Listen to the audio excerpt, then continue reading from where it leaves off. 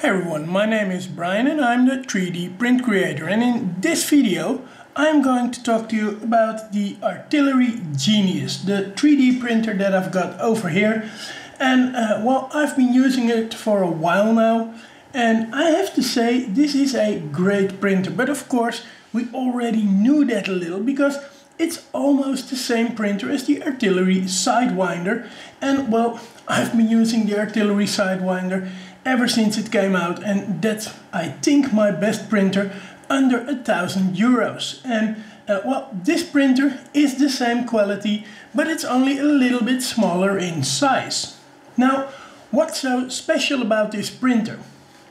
Well to start with uh, this printer has a build area that is 220 by 220 by 220 in size and those sizes are in millimeters.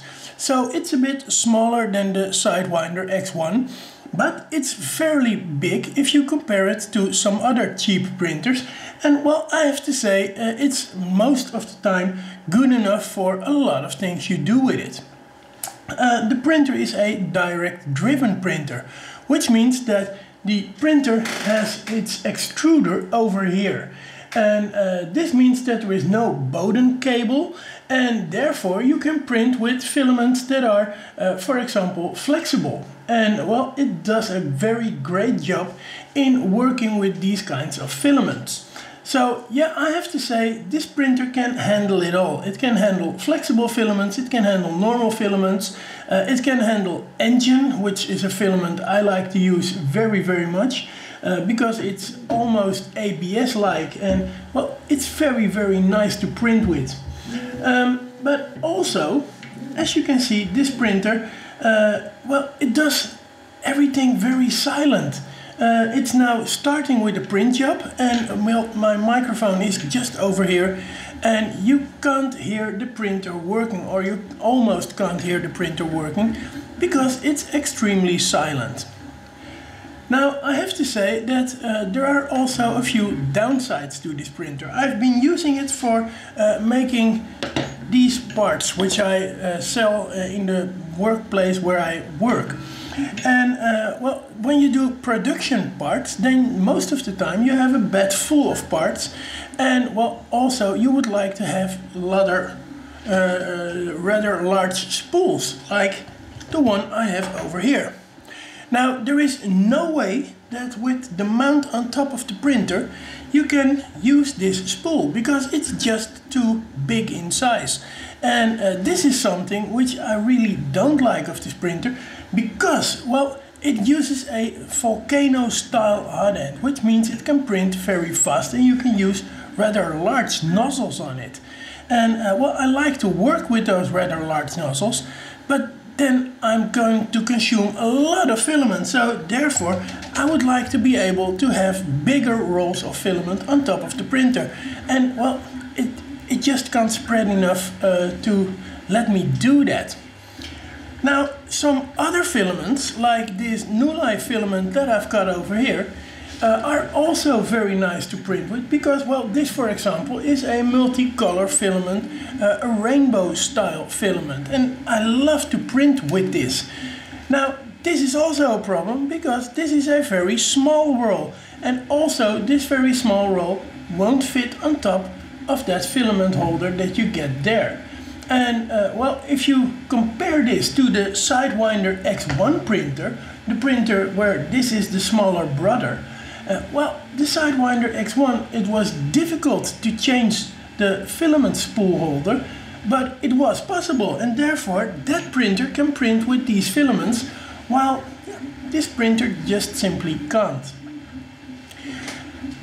Now, when you compare the speed of this printer to other printers, I have to say it's incredibly fast.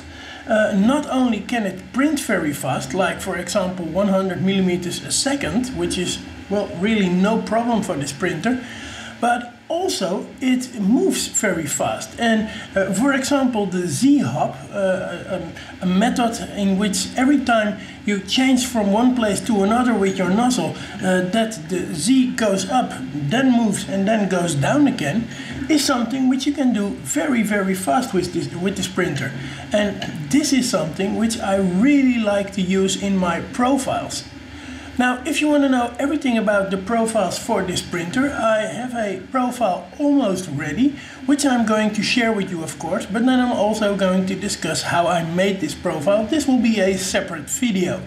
So, if you like this printer and, well, you like to see the new profile, well, wait for my other video, so make sure that you subscribe to my channel and you hit that bell notification as well, because then you will be notified when I have that profile available on my website. And well, my website, of course, it's in the description down below uh, or also on the screen right now. And on my website, you will find a lot of information about this printer, also other printers, and laser cutters and laser uh, engravers that I've reviewed in the past. So if you want to stay informed, please make sure to subscribe to my channel. Now, this is it for this video. I hope you liked it and uh, if so, then please let me know uh, by hitting the like button and also yeah, by subscribing to my channel. Visit my website because there you will see how easy it is to find all related videos of all kinds of printers I have reviewed in the past. And really my website is way easier than the normal YouTube way of finding things. So uh, you can go over there and find everything. And uh, well, if you like to help my channel, please, uh, if you want to buy this printer or other printers, use the links in the description down below or on my website because then you're helping the channel because these are affiliate links and well, you help me a lot by buying via these links. Thank you for watching and I will see you next time uh, when I talk about the profile or other things that you can do with this great printer. I see you then. Bye bye.